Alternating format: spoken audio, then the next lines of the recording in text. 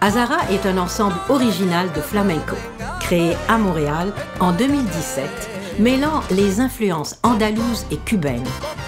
À géométrie variable, il se décline en diverses formations, proposant un répertoire de compositions et d'arrangements originaux, alliant flamenco, copla, bolero, rumba, flamenca et jazz.